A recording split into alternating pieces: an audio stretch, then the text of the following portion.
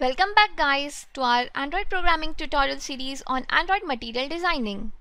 I'm Annie from Smartherd. In the previous videos we had learned about solving the compatibility issues of our application using the XML files. In this very video we will be learning about maintaining the compatibility of our application in all the devices using the Java code. I'll be showing you a small snippet that has to be implemented in our main activity.java to solve this issue. The very first step is to check if we are running on devices having API level 21 or above, that is, if we are running on Android 5.0 or higher. Or, in other words, we can say we need to check if our device is of Lollipop version or higher. If the build.version.sdkint is greater than or equal to the build.version codes of Lollipop, that is, if our application SDK's version is greater than or equal to the device version of Lollipop, that is, if build.version.sdkint is greater than equal to build.version codes.lollipop, we need to call some material design APIs here.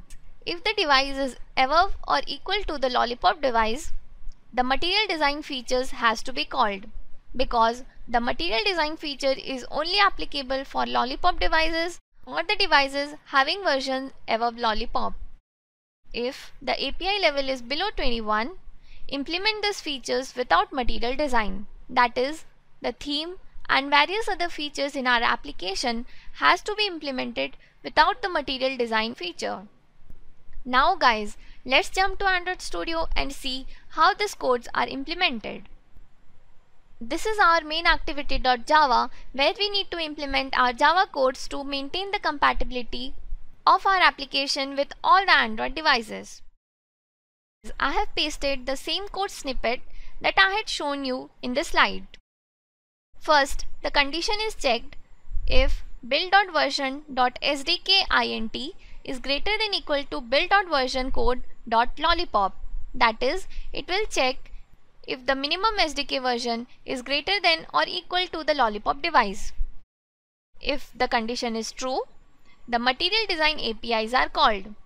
And if the build.version.sdkint is less than the Lollipop version, then the features without the material design is implemented.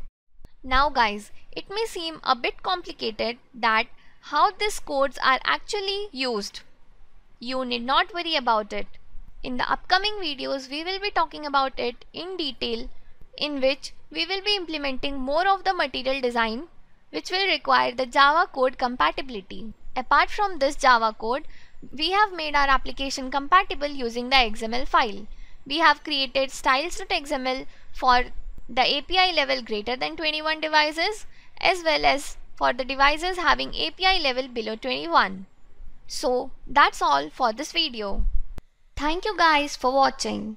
If you like the video, do share and leave your comment below the video. Subscribe to our channel and help us grow. I also have given the link for the source code of the entire module below in the description.